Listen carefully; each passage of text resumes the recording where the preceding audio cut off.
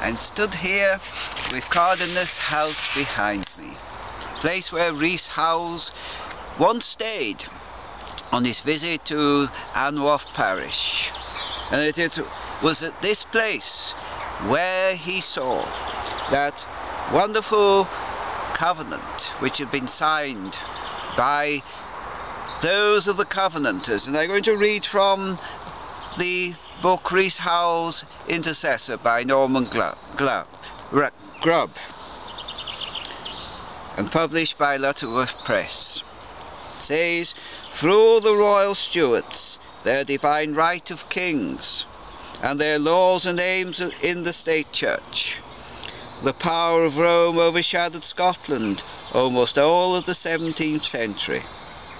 At the end of February 1638, the National Covenant was drawn up by spiritual leaders of the land and eagerly subscribed to by many thousands, saying, In special we detest and refused the usurped authority of that Roman Antichrist upon the scriptures of God, upon the kirk, the civil magistrate and consciousness of men, and accordingly setting forth a clear and literal reinstatement of the Reformed faith as given in the Confession of Faith of 1580 1581. It was an open protest of a nation against popery and a reasserting of the scriptural views of the gospel of salvation. It solemnly pledged all who signed it to promote evangelical doctrine and discipline in all of their spiritual purity.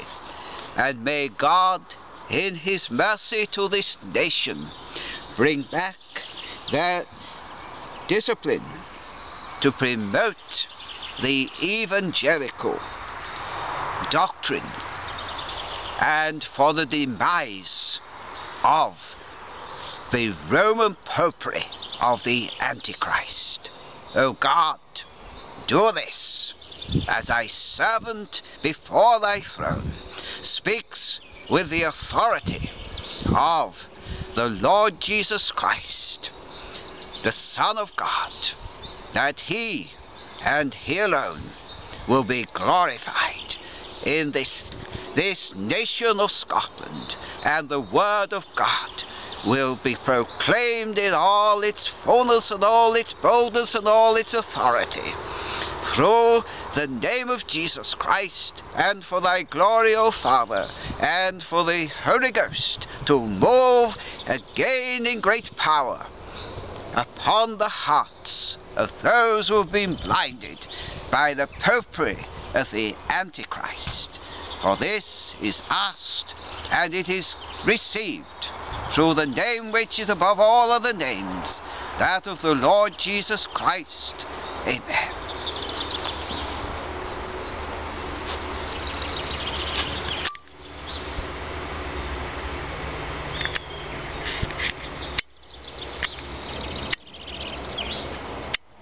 Cardoness House, where Rees Howells stayed.